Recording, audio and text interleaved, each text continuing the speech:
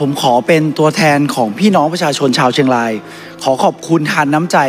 ของพี่น้องชาวไทย และขอขอบคุณหน่วยงานที่เกี่ยวข้องที่ให้การช่วยเหลือพี่น้อง เราขอยกย่องมูลนิธิกู้ชีพ กู้ภัย นักแสดง อินฟลูเอนเซอร์ ผู้มีจิตศรัทธาที่บริจาคเงิน และช่วยเหลือผู้ประสบอุทกภัย ทั้งช่วงก่อนและในสัปดาห์ที่ผ่านมา ที่สำคัญผมได้เห็นพลังของภาคประชาชนที่ร่วมมือร่วมใจกันในการช่วยเหลือกัน ผมขอขอบคุณแทนพี่น้องชาวเชียงรายจากใจจริงครับ นอกจากประชาชนต้องช่วยเหลือกันเองแล้ว ภาครัฐมีแนวทางในการแก้ไขเยียวยาอย่างไรบ้าง